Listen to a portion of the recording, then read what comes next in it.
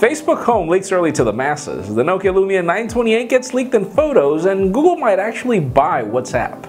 I'm Jaime Rivera, and I know, I know, I hate Mondays too, but this is Pocketnow Daily.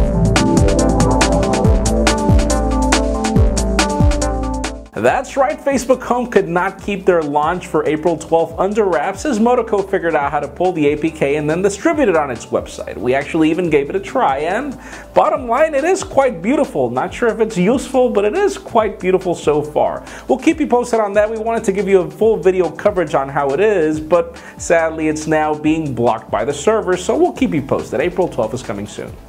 Now let's talk about the Nokia Lumia 928 for Verizon that was recently leaked in photos in both black and white. And yes, if I'm giving you colors, that's because this is not the Lumia Catwalk that's been rumored to be made out of metal. This is actually a black and a white polycarbonate phone that keeps the specs of the Lumia 920, looks a lot like the Lumia 720, but it does include a Xenon flash, which is actually awesome. So we'll keep you posted when this phone reaches the market. Sadly, we still don't have any specifics or dates.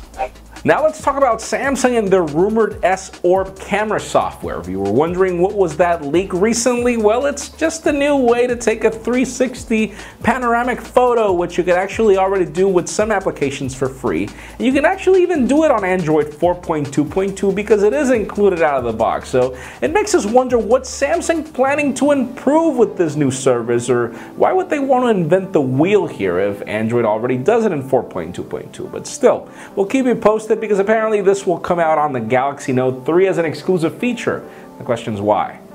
Now let's move over to Google as some recent leaked photos show us the new Google Play Store, which is version 4.0 and which brings a new immersive and simplistic UI to their Google Play Store. Hopefully that's something we can also see in the next version of Android, if it can get any more simplistic than it already is. But the hot news here is that we've got some leaked photos of Babel or Babel, or Babel as we say in Spanish. And the point being is that apparently this is the code name for their new messaging service, which is unified to supersede Google Talk, which was kind of overdue for change. And I really wonder where they came up with the name whatever, Babel, Babel, whatever you want to call it.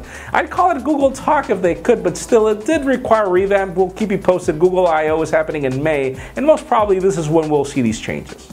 And finally, for the terrifying news of the day, we've got recent rumors that Google might be acquiring the WhatsApp messaging service. And for those of you that don't know what it is, well, you most probably don't own a smartphone, but I'd call this one of the best, if not the best, cross-platform messaging service that allows you to connect with pretty much everybody. Windows Phone, iOS, BlackBerry, even the old Blackberries, and Android, and even some other smartphones out there, which is actually awesome. But, well, Facebook wanted to buy the service in December, and then Google is now apparently trying to buy the service, but apparently WhatsApp wants a billion bucks. And I do understand them. I mean, it's a very successful service.